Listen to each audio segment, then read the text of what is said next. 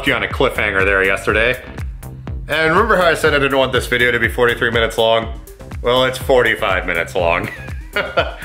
Anyways, I, I think people enjoy watching some of the vehicle related stuff and whatnot, and I cut this down as much as I could, but hey, you know, to you people that want the longer content, here you go. We're gonna pick up right where we left off as I was driving the thing around, and when the check engine light turned on, and when it started running on seven cylinders instead of eight. Okay, so good news, bad news. I figured out what the squeaking is. It's the doghouse cover, so that's an easy fix. Um, bad news, I'm down one cylinder. So when I bought this thing, uh, the guy was like, oh yeah, and I replaced one of the ignition coils. Now on these vans, they have individual individual ignition coils, one for each cylinder. And normally, ugh, reduced power. Normally, when one ignition coil fails on these things, you want to replace them all. Because if one fails, the rest of them are all about to fail too. So I halfway expected this, actually, because he was like, oh yeah, I replaced one of them. And I was like, huh, okay. So in the back of my mind, I was like, all right, well, I'm going to be buying seven or eight ignition coils. I'm sure it'll be obvious which one was replaced, but about 90,000 miles is when they tend to go. So just kind of interesting. We got the check engine light now. I'm gonna pull the codes when we get back, but I'm pretty sure it's gonna be cylinder X number misfire. Uh, but yeah, we'll find out here in a little bit.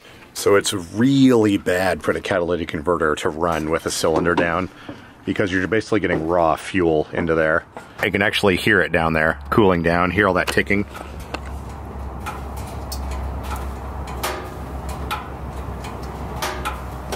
That is not rain. That is a superheated cat cooling down. and it definitely smells hot. Uh, thing to remember though, oh, is my code scanner all the way back there? Oh, there it is. Um, thing to remember though, if you uh, have a misfire, if your check engine light starts flashing, back off the throttle. Because the O2 sensors do have some temperature sensing capabilities and if that light is flashing rapidly when you have your foot in the throttle, that means conditions exist that your vehicle is potentially able to catch fire. Um, so if you ever do see that when you're driving, let off the throttle. I was driving nice and easy because I knew exactly what was going on here. But um, yeah, let's see if we can, ah, that's cold. Can't touch cold things. Um, where's my grabber stick? Oh, here it is. This is the extra super extendo one. Ugh, that's good for things. Okay. Let's have a look and see what is going on. Our OBD2 cable. I think it's the yellow one. Yeah. And then I had to move or relocate the DLC port, or the OBD2 port, um, because it was mounted to part of the dashboard that hasn't yet been reinstalled. So it's on this little pigtail here. All right, there we go. Turn the key to the on position. Turn off our blower motor. Plug this heifer in and see what we get here. Let's see, config, Ford. Oh, I need to update this thing. It only goes to 2007 currently. I need to get some new firmware on this. All right, 2002, scan. Okay, three diagnostic codes. Let's see what we got here. Data, trouble codes, trouble codes. Ignition coil ground primary secondary circuit malfunction. So, um, that could be a wiring issue, but typically a ground fault means that the coil is bad. Let's see what else we have here. Well, we only have that one. Let's see what pending codes we have. Misfire detected on startup. First 1,000 revolutions.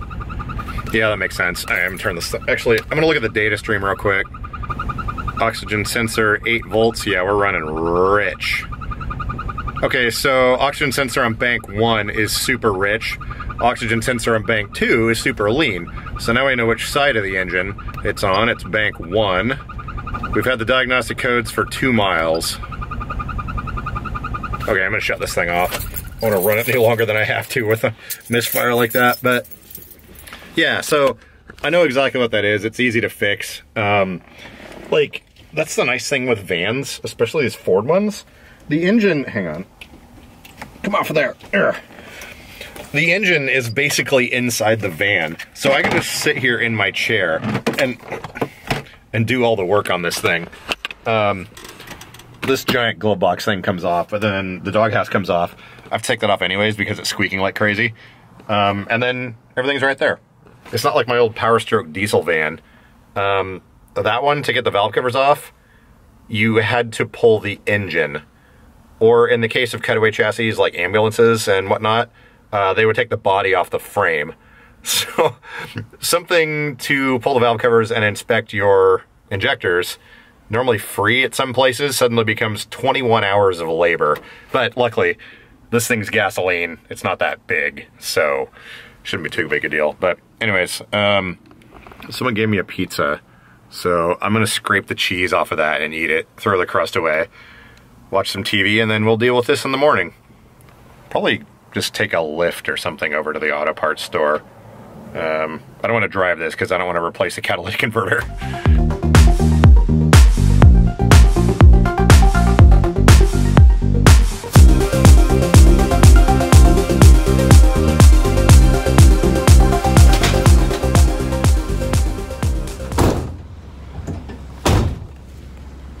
Parts.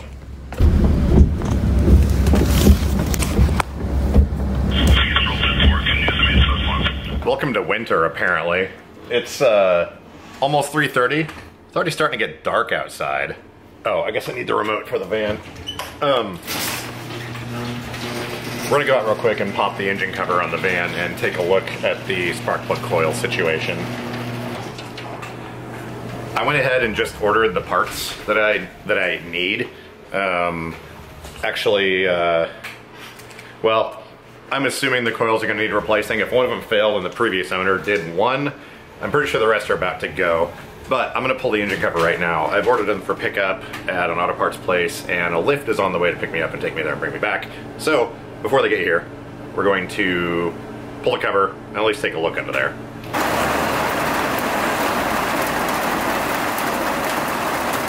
Yep, hail. Why is it every time I get near this van it starts hailing? Like seriously.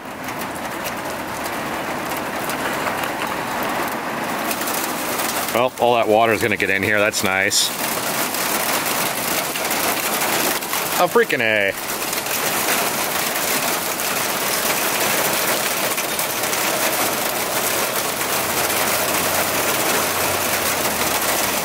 Okay, we're gonna close the door for a minute.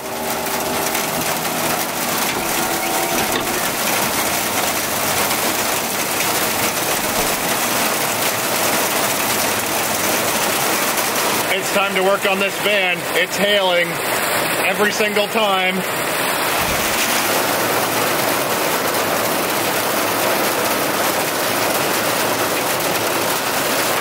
Luckily when it does hail around here, it doesn't usually last very long. It'll blow through in like five minutes at the most, it'll be done. Actually, it sounds like it's lighting up now. Okay, well I gotta get my stuff ready. I'm gonna get wet, but I don't care. Let's go inside. Mmm, hail.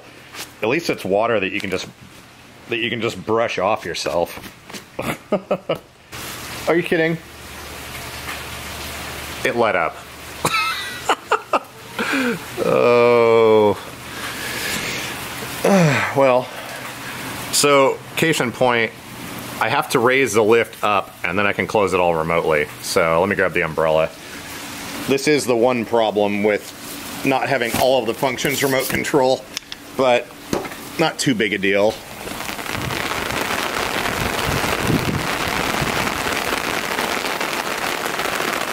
So I just have to use this switch, run the lift up to floor height, and then I can get back out of the rain and do the rest from remote. assuming I can reach the button.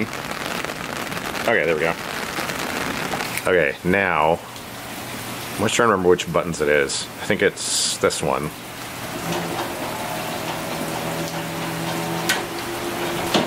And then this one.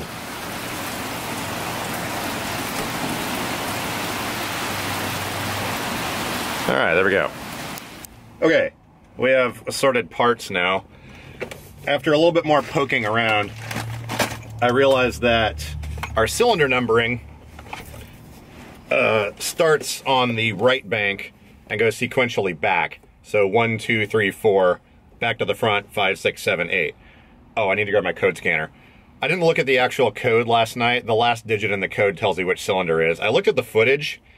I waved it in front of the camera for a split second, and I think it was seven. And that's the coil pack that's been replaced in here. So it's interesting that that one blew again.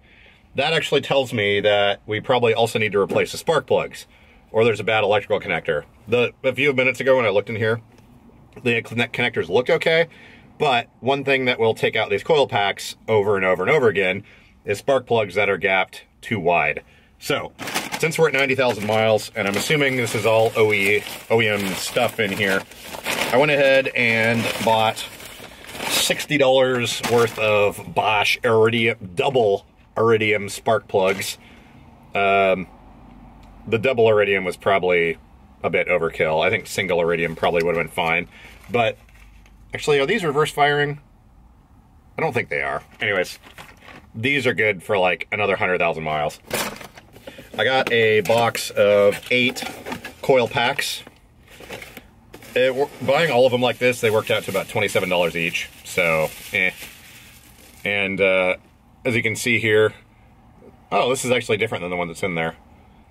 Um, Duralast. Well, at least I know the spark plugs will be good by the time we're done. And uh, at least have the boot and everything built in. But since we're dealing with aluminum heads, and some Ford products love to spit spark plugs out of the thread holes, I went ahead and got, well, you should do it anyways, always, no matter what. Never-Seez. Always put those on the threads. And then the other thing that, see, these coils, like, they're small and they don't like any extra resistance or any extra workload whatsoever. So I also got dielectric grease and I'm gonna fill each spark plug boot with that. This stuff is interesting. It's actually a conductor and an insulator. So this will basically make sure that the spark's not jumping where it's not supposed to, and things that are in physical contact that has this on it makes a very good conductor. So that's gonna help us out there as well. So I think we've got everything we need here. Uh, Mitchell Manual rates this at 5.8 hours. Um, that seems a little excessive to me. The front ones might be kind of hard to reach, but I'm gonna start with cylinder seven and pull that thing out of there and see what our gap looks like. And uh, I'm assuming the plugs are just gapped, are worn out, thus the gap is kind of insane. So, um, I got this a long time ago for safety purposes. This is 860 lumens of uh, Cree LED, but it comes in super handy for stuff like this, and you can also dim it. So you can change the brightness of this thing as well, which is kind of nice, but works really good for this type of job. Um, I'm gonna grab the code scanner again though and double check that code uh, just to verify um, stuff and or things. So let me grab that real quick. Now this particular code scanner, for whatever reason, will not pull codes unless the engine is running. Typically, your good OBD2 scan tools are not gonna care as long as the key is turned on. But I am also very curious, very curious to see if we still have that misfire. Uh, now the thing has sat overnight and cooled back down um, because it started off kind of random and then it turned into a hard mess. Um, so let's go ahead and fire this thing up and see what we get. Yep, still missing. Ooh, belt squeak. Actually, so it's not missing, but we've got a really rough idle. Well, it doesn't show up on camera, but the engine's vibrating a little bit. If we look right down here by the head.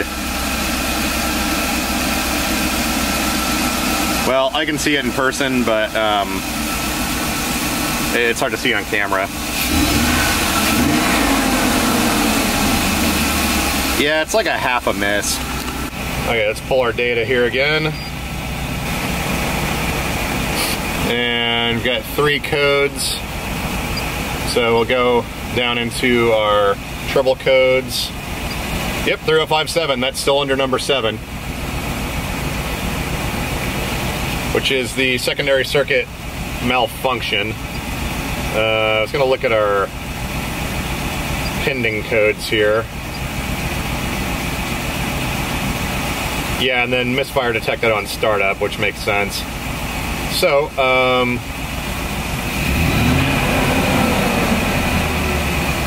yeah, so now that I can actually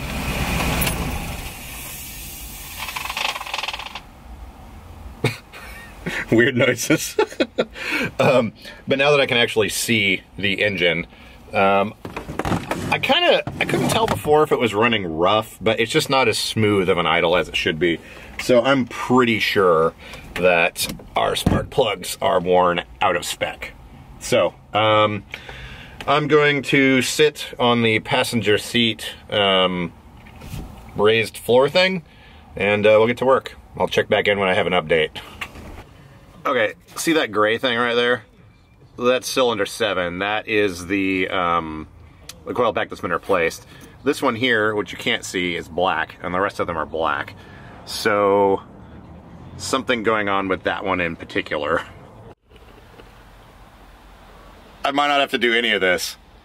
Um, look, the, the, see, I wanted to take this apart and look at it first, but I also want to get the parts and get started before it was dark outside. Um, but uh, I can always return the parts. But check this out. This is the electrical connector right here for that coil pack. Look at this. Watch, watch.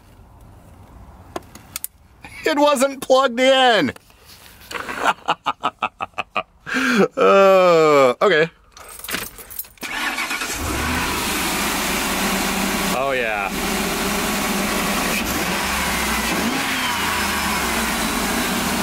It's running smooth now. oh my goodness. I've never been so happy to... I have to figure out what that noise is. I've never been so happy to find an electrical connector that was not plugged in all the way. Yeah. I don't think I'm going to waste my time with any of this. Um, this begs a question now. Um, I mean, it is good to have known good spark plugs, but I was basing the fact that they were worn out on the fact that that coil pack had failed again. This is always why you verify things first, but like I said, I wanted to take a lift out there while it was still light outside, so I just ordered the parts and figured I could return them later. Um, but I don't think there's a reason for me to do anything right now.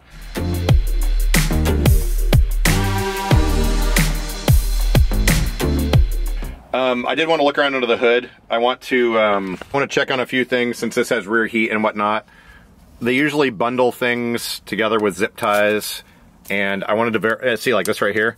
This needs to be attached to something. This right here has clearly been rubbing on the engine cover. That's one of our rear heater hose lines. And there's like electrical tape around this for some reason, so normally whenever I get a vehicle, I like to go through it and just sort of inspect all that stuff. Um, ooh, we could do an EGR block off. Hmm. Although we do still have a catalytic converter on this thing, and that would result in the check engine light being on all the time. I'll probably just leave it for now. And then you can see right here too, we've got some wear from this hose on top of the, uh, is it the IAC? Uh, yeah, that looks like the idle air control. So I just want to reroute some things, add some zip ties, double check all the wiring, make sure, I mean, here you can see we've had a lot of abrasion right here. So I just like to go through all this stuff, check everything out, make sure we're good. That way you don't have to worry about it. Yeah. Oh, that's friggin' awesome, I'm not gonna lie.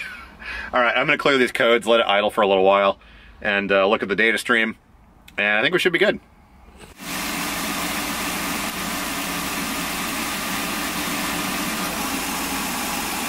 So here's an example of exactly why I do this sort of thing, especially with a van that has drop floors. Check out this O2 sensor wire right here. It's not frayed all the way through, but you can see it was definitely rubbing on this floor drop. So that needs to be addressed. Um, it's not a problem right now, but it very quickly will be. So that's gonna get some electrical tape and a zip tie. I'm gonna clean this up a little bit, use a different zip tie on there. These fuel lines are heat wrapped. Everything looks pretty good going down into the floor there, so that's good. Um, I'm gonna find something to mount this wire on, probably the transmission dipstick tube here. Uh, but yeah, there's just, like I said, a number of things that's good to look around on these vehicles when you first get them. And uh, oh, there's our air filter up there. You can see that. There we go. Um, yeah, it's always good to check this stuff out. There's our steering shaft. You can see that. There we go. There's our steering shaft. Oh, looks like it's got a Zerk fitting on it. That's cool. I know it's blurry, but uh, it's nice to see. Oh, that's not a Zerk fitting. That's a bolt. But anyways. Yeah, so I did get the hand controls in here. I haven't reinstalled the lower part of the dash. I'm to have to do some modifications on that. But, um, yeah, they, they seem to work for now. We've got our brakes, throttle. And, uh, yeah, once again, once it's daylight, I'll go over this stuff. But, yeah, for now, I'm just to work on this for a little bit, put it all back together, then uh, probably go for a little drive and stuff. Got my uh, good zip ties here. I was noticing that the this is our these are our fuel lines right here. And I was kind of noticing that this heat wrap around them is starting to get a little bit of abrasions on this floor here. And same with these eh, sorry it's hard to film this. Same with these uh, heater hoses here. So what I'm gonna do I'm gonna put a little piece of plastic on there so that that's actually rubbing on the metal. Zip tie it around this. That way these things have something to ride on. This is actually the gas pedal out of the old van um, and then I've got this other piece of plastic from the overhead console. I think what I might do is cut this in half and stick it on top of these bundles down here and zip tie it around. That way that metal surface is riding on this thing as opposed to the actual heat shielding, which will eventually saw through. Because, I mean, motor mounts are not solid. They have some give to them so that you don't get engine vibration. And seeing as how vans have tight clearance, things are going to vibrate a little bit, and we don't need to be sawing holes in our vapor recovery fuel lines, heater hoses, all that good stuff. Um, yeah, so that thing's still coming in handy. While we're in here screwing around, I'm going to check a few other of the uh, common failure points on these Ford modular engines. And uh, one of them is has to do with the EGR system, which this is your main EGR valve right here and this tube comes up from your exhaust which you can see see over here. That comes up tees in and pipes into your intake right here. That's sort of for an emissions thing. You can block it off to get a little bit better performance and mileage um, but we're gonna leave it hooked up for right now. But the thing that always fails on these is right here. Uh, this is a flow sensor. So basically hot exhaust gases if we look back down here the uh, there's our exhaust manifold. You can see it peeking through. That's that rusty thing. And then we have these two lines right here that come up with these rubber hoses connected. And those plug into, see if we can get the light here. I think you can kind of see. So we've got these two hoses right here and they come up and connect to this blurry thing. They connect to this thing right here. And what this does is in that pipe down there, there's a little orifice that creates a pressure change. And we've got one pipe on one side of the orifice and one pipe on the other. And then this module right here measures the dif pressure differential between the two to confirm that this valve right here is actually opening and there is flow of EGR gas. But as you notice, this thing is made of plastic. And there's hot exhaust gas going through those two, going through those hoses up into here. So these things will tend to melt. As you can see, this one isn't melted. It appears to be in good shape, so that's fine there. Um, we don't seem to have any hole, holes in the EGR line. We've got our uh, heat shielding down on the intake here. That seems to be intact. Oh, and as you can see, I've added a few zip ties in various places. Um, we've also got our piece of plastic installed down here uh, to insulate our fuel lines. I bent this fuel bracket up a ways and I stuck a bolt in the head right here, wrapped it with electrical tape, and I'm using that. And I'm using that to get these rear heater lines pulled away from the fuel lines and away from the body right here, because this was rubbing. And then we've got these things all connected together, so they're not going to be rubbing. Basically anything anywhere that was touching something else Uh, I just went ahead and put a zip tie on there. That way they're not rubbing. They're actually in contact and we should be good.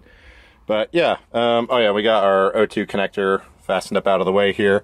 And the wires route around the side of the tranny cooler line, so no problems there. This isn't rubbing anymore.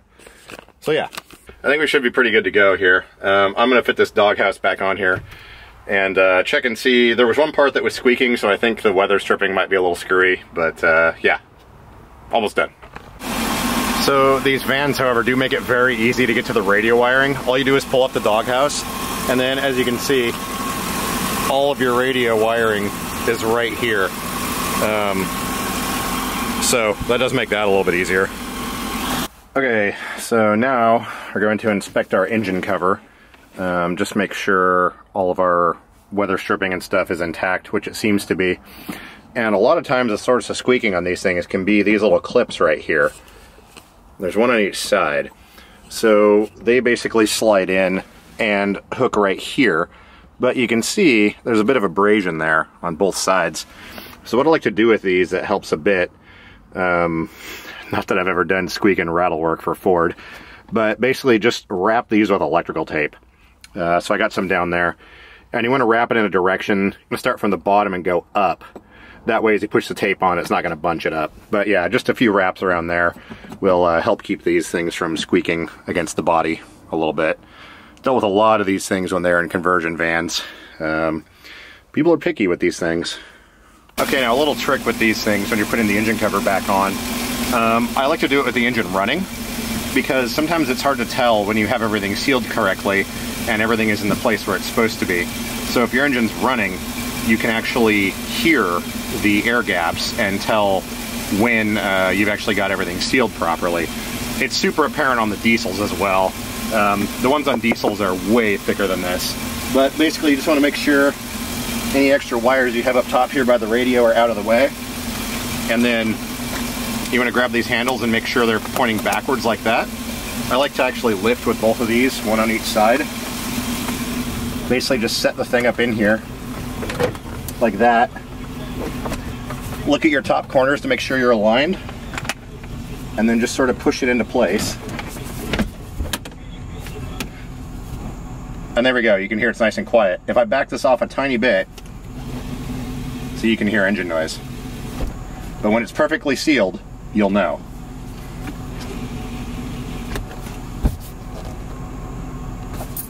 Um, I'm to get these things tightened up. Uh, the the glove box sort of attaches to these, um, so I'm to get these things fixed and I'll be back. All right, there we go. Everything's back together.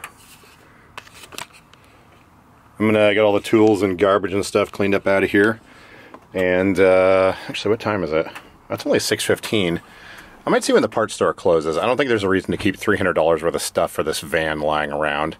Um, yeah. So I'm probably to try and take that stuff back tonight. Okay, so all the stuff you just saw about the engine misfire and the coil and all that stuff being fixed, that happened after I got the wireless remote set up the rest of the way to partially control the lift and the power doors. Now the power doors we saw in yesterday's video, but as far as deploying the lift, I filmed a bunch of stuff with that, but I was using a couple of LED lights, the one on my head and then also this little lantern thing I have. And as it turns out, to save energy, those things flicker. And it created this crazy banding on the screen. The footage is almost unwatchable, and I mean, while I am photosensitive, it's not incredibly bad, but it's also not good. So I'm not going to show that. Essentially, the thought process was that lift is only temporary in the van right now. I'm going to be swapping it out for one with a longer platform that has a higher weight lifting capacity rating because right now, this Q6 Edge 1 is the only chair I can fit in there that I have. The steampunk chair would work, but I haven't fixed that yet. My new Quantum won't fit in there. The F3 won't fit in there. And while the Bounder might, it's about 210 pounds over the weight limit of that lift. So, all that being said, I decided to go ahead and partially remote control the lift. Like you saw yesterday, you can hit a couple buttons to open and close the doors, and then to deploy and stow the lift, you have these two buttons here. And it was easy enough for me to just make it stow and deploy, and I explained why I did that. But I would have to get like a four channel wireless module, but then the doors would have to be integrated as well. I could get it all set up on like two buttons, but like I said, there's no reason to spend all the time doing that. And I'll show you a couple of clips here of what the inside of the current lift mechanism looks like. It's a little bit of a rat's nest. Um, so just in the interest of not wasting a bunch of time and energy on something that's going to be taken out probably within the next month or so, uh, we just did it this way. But anyhow, here's a few clips of that, just a couple of highlights, and to show you what the inside of the, uh, the lift control box looks like that's currently mounted in the van. Okay, well, for some reason, it always seems to be the middle of the night when I'm doing this stuff, and I leave the camera inside. But anyways, I've wired up the power doors to one of these wireless modules. Buttons A and B are open and closed.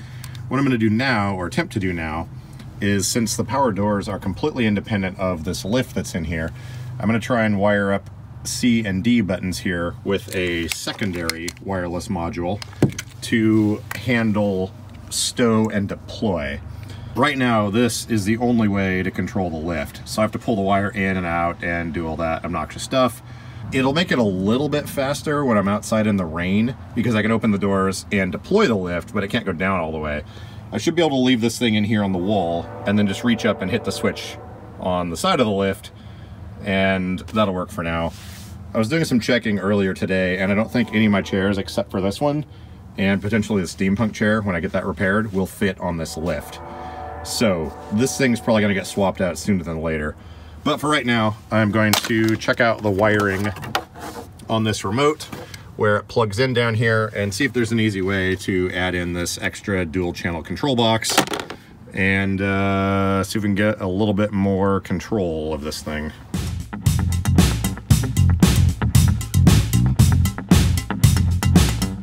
I'm realizing now that underneath this cover is a little bit of a rat's nest. As you can see down in there, that's where our hand control plugs in. And uh, the control board is also down there which is one of these things. Um, so we've got some random schematics here, but this thing's, yeah, it's kind of a mess. I'll just see if I can figure, find another output. I think typically what they do on these things is they just put a Y cable on this output right here, and then uh, they use that to wire into the vehicle. So I'm gonna see if I can figure out what the schematics are, potentially take this thing apart and figure out uh, the wiring for that. Cross-referencing between these two schematics, this one is labeled with colors but not functions. This one is labeled with functions but not colors. And they seem to be pretty much the same. So what I've done, I've taken the screws out of this bracket right here so I can unplug this connector now. There we go. And um, this connects to the hand control here. And I think what I'm gonna do is strip back some of this wire and then just uh, access the, sorry about that flickering light there. Um, and then I'm gonna access the, um, the wiring that I need in here and just add some jumpers to this, tape it all back up and plug it in. So we'll just have some extra wires sticking off the side of this thing basically. According to the schematics here, we've got two black wires. One of them's ground and the other one is what activates the uh, deploy function. So I've peeled back um, the sheathing on this wire here for the hand control and I need to verify that the colors in this remote wire are the same as what's in that lift. And it's looking like to me there's a lot more wires in here than there are functions or are on the schematic. And I'm only seeing one black wire. So what I'm gonna do is I'm gonna take this thing apart, look at the wiring in here, and then I can verify the colors on this thing and figure out which pins go to where on here. Then we can see if the colors are the same or if I need to modify anything. Um, yeah, got the screws out of our hand control here.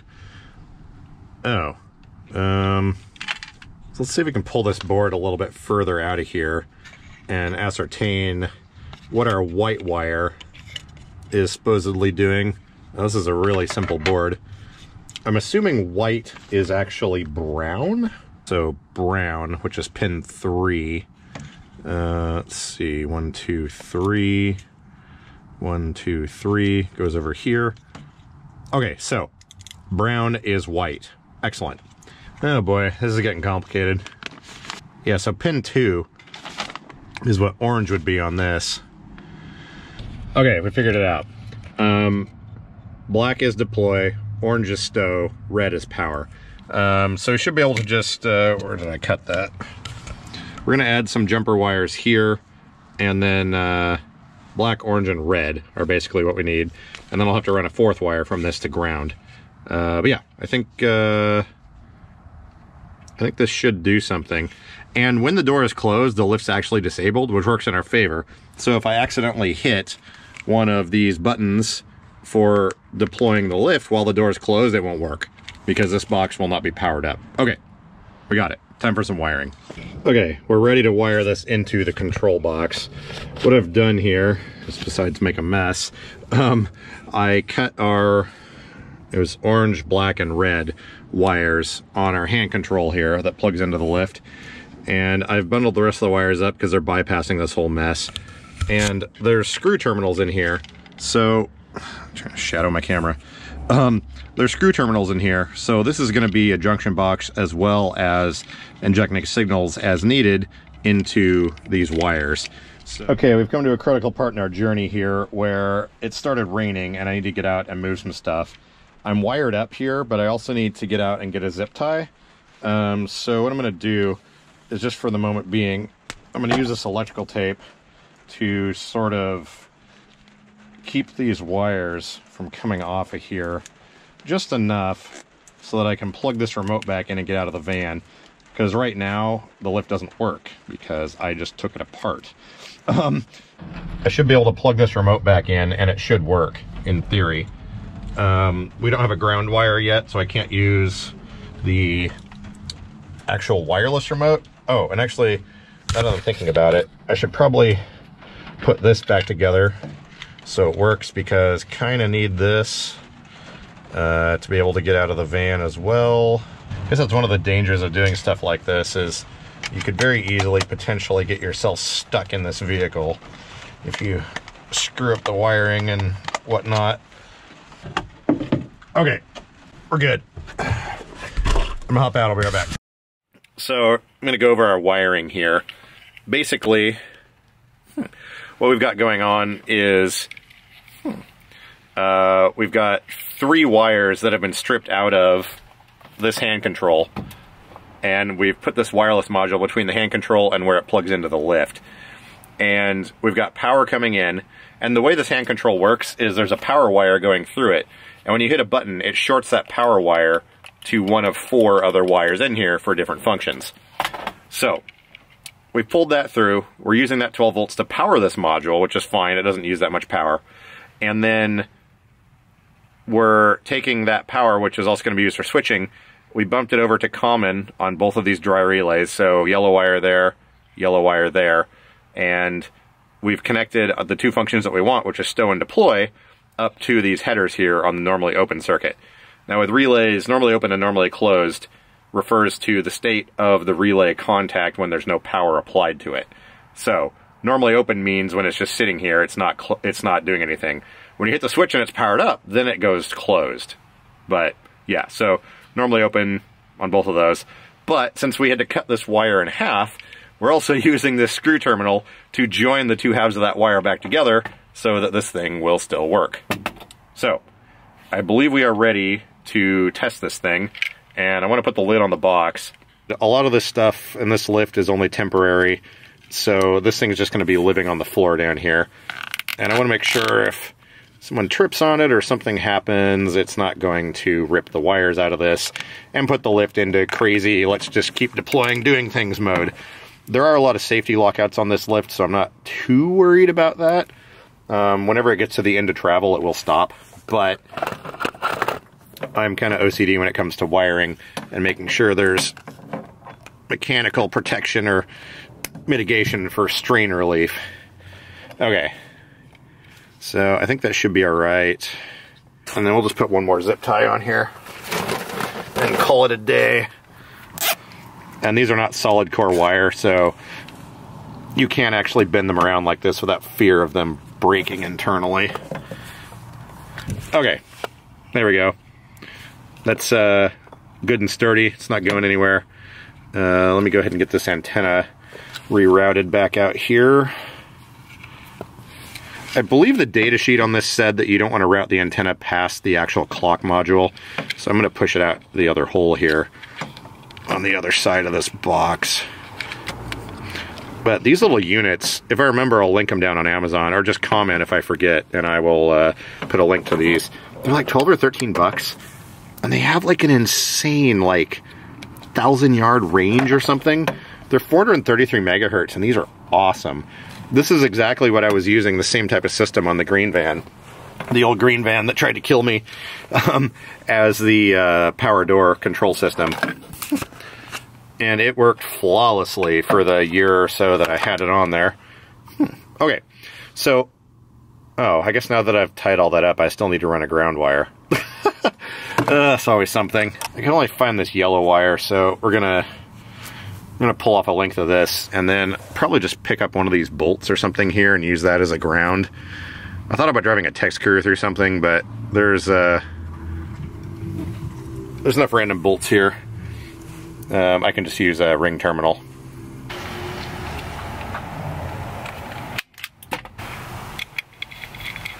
And now we have a yellow ground wire that's the same color as our power jumper. Convenient. But nothing else yellow comes out of this box, so I think that should be fine. Yeah, so projects like this, sometimes I just kind of get in the zone and I start doing stuff and I'm like, oh, I'm not going to film that, I just want to get it done. And then I realize, like, it's not that much work to just go grab the camera and show you guys what I'm doing. So I think a lot of this is sort of interesting. Slash, I don't think there's other people that are really doing the same type of thing, like working on their own wheelchair vans and stuff. And even if it doesn't make any sense what I'm doing, people still tell me they like to watch anyways, so yeah, whatever. Hmm. Okay, so here we go. Finished product. Um, oh, before I put the lid on, we need to do the programming for the remote.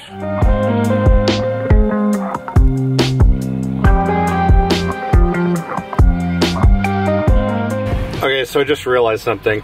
Apparently you can program um, two buttons on the same function on these remotes at once.